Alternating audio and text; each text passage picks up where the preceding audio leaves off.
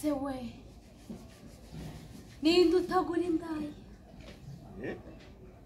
ko nanjye nyigura bucece niba ari ibyo nanjye ndayigura da ok rero reka dukomeze abakunzi ba Julia TV show nk'uko mubibona nk'uko mubyumvise ikiganiro cy'uyu munsi tugiye kuvuga noneho ikintu cyitwa uburaya uburyo bisigaye bikorwamo noneho kwaje aha abantu mudukurikiye rero reka twongere tubasabe gukora subscribe share ndetse na comment. Ubundi mudukurikire mu kiganiro the focus. Narababwiye ngo tuzaza tubagezaho ibintu biri mu ibanga cyangwa se ibintu byihishe ahantu. Ariko tubivugaho nyamara tuza tubivugaho kugira ngo tukwereke ishusho nawe utazagira icyo uhura na cyo kikakubera gishyashya. Right? Uyu munsi rero turi kuri aka kantu kavuga ngo ninde utagura indaya?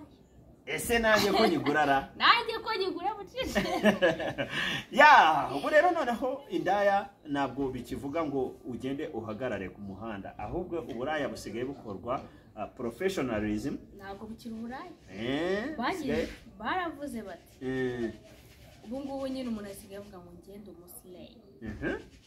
ubwo nyine akaba konfaminze akabona akazi. ariko ase what? Sileyi bisobanura ntabyo nzi gusirayinga ntabwo numva babivuga ariko njye nari nzi ko ari ukubyina kwishima n'ibindi n'ibindi. Ariko ntabwo nzi sireyi icyo bivuga by'ukuri. nyine umuntu nakubwira ko ari sileyi Mm.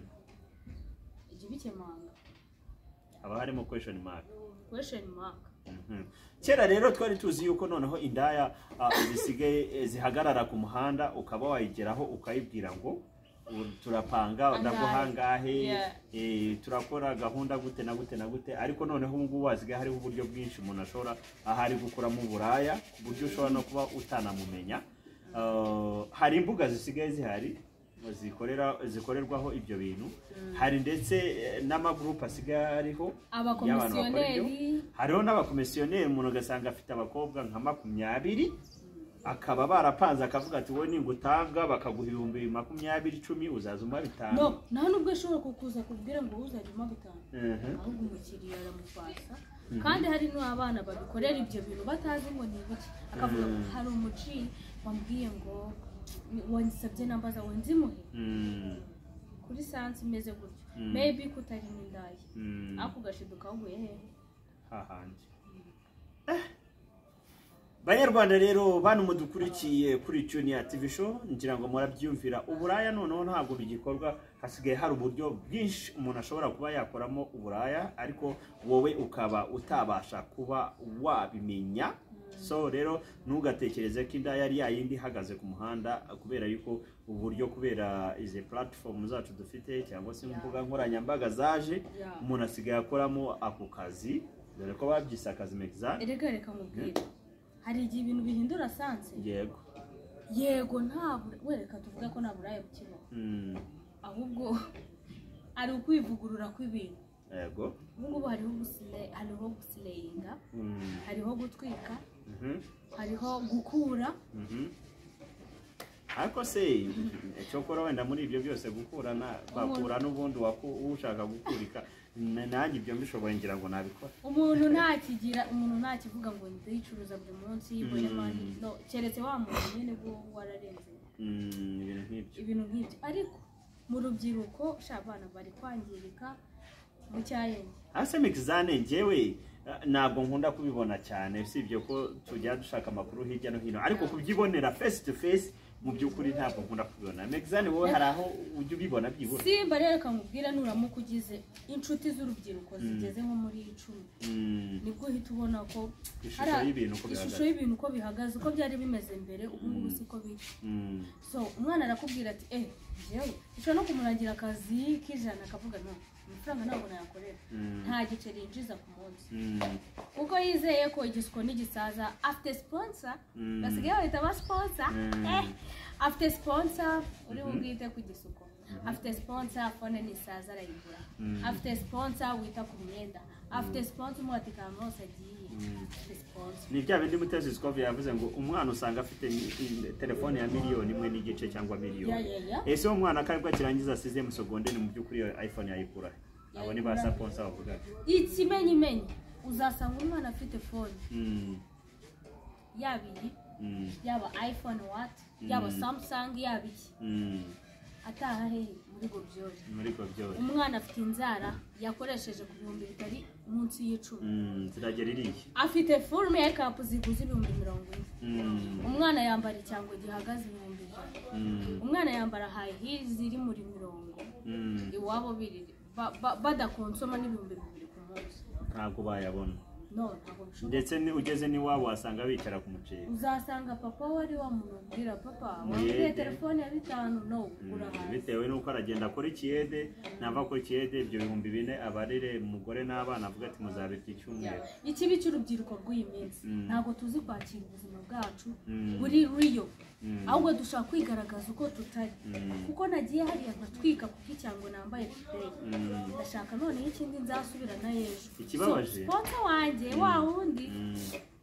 nabwira ngwino nkubwire. So nta nubwo ari buvuge ngwino ari na benshi bigana Mm. agenda avuga ati i need this i need this. So ni gute umuntu yaguha amafaranga yakugurira ibintu nk'ibyo buri munsi buri munsi? Si papa wawe. Si musaza wawe.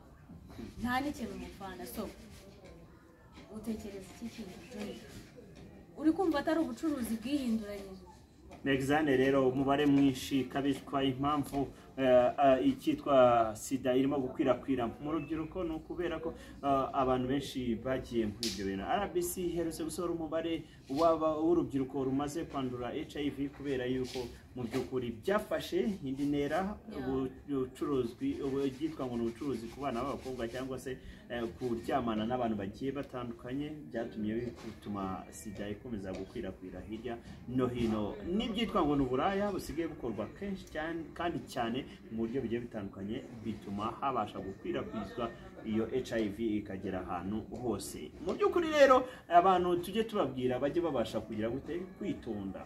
Ejo ni heza kandi mu by'ukuri uko uri ntacyo bitwaye. Cyane nta cyane urubyiruko reka. Cyane cyane urubyiruko nubwo waba ufite ubuzima bu- ubona ko busebetse. Nexane mbona uri urubyiruko nkabona ufite ikibazo. Ukaba wanakinganiriza. Nshobora kuba nagufasha ariko ntafite icyo course. Sibyo dukore tuzamure Mm. ubuzima bwacu. Yego. Ntitugakunde ibintu byoroshye. tuvugishe ukuri reka duhere kuri perezida wa repubulika. Ya- iyo bakweretse amafoto ya kera zari haso. Bariya bagabo baba baratangiriyemo ariko ubu ngubu bafite icyo bari cyo.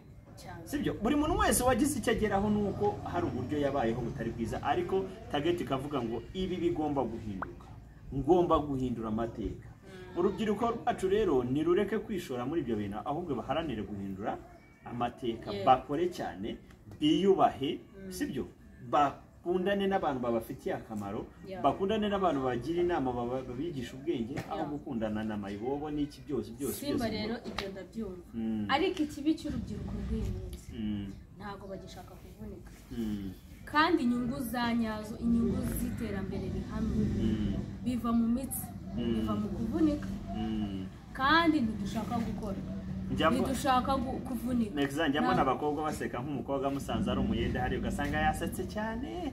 Kandi kuva ku birenge ibyo yambaye kugera hariya abikura mu nzira zitari nziza.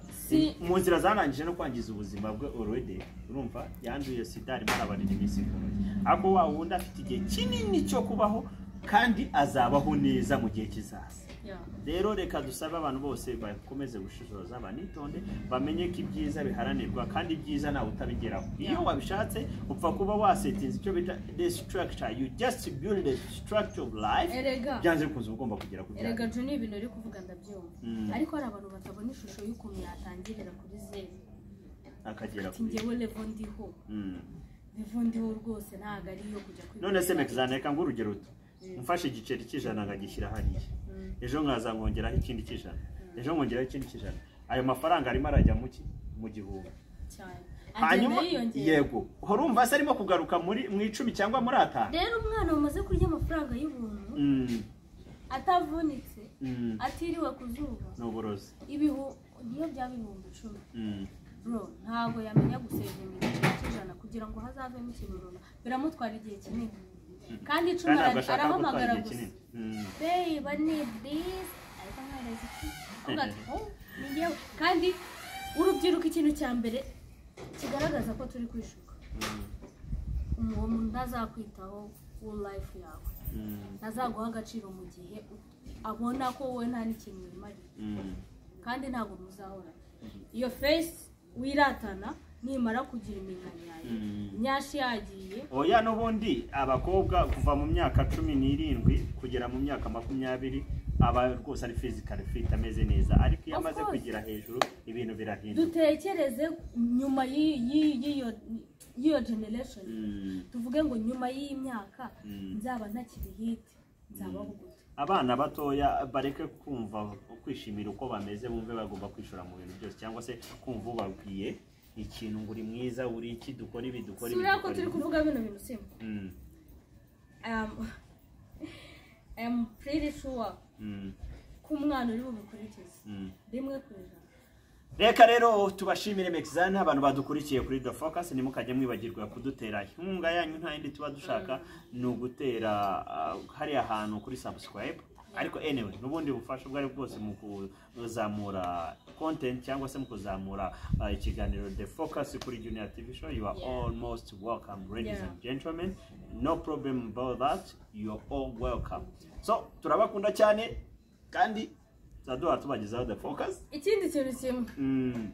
ni iki- ni ikihe kintu ababyeyi bagomba gukora? Eh, kugira ngo ababyeyi bo ntabwo ntibavugaho cyane kubera ko abenshi barananiwe.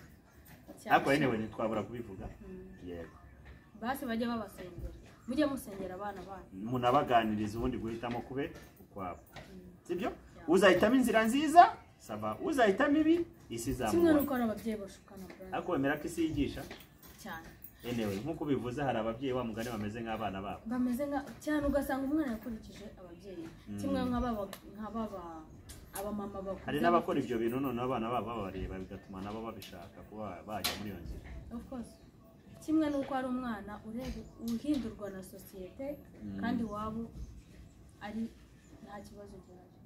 Okay reka rero dushimire abadukurikiye kuri the focus tubabwira ngo ubu tubaye tugiye. Rya jambo ryacu imana igira ite? Mukomeze gusigarana namwe mureba the focus kuri junior tv show. Ciao ciao imana umugisha.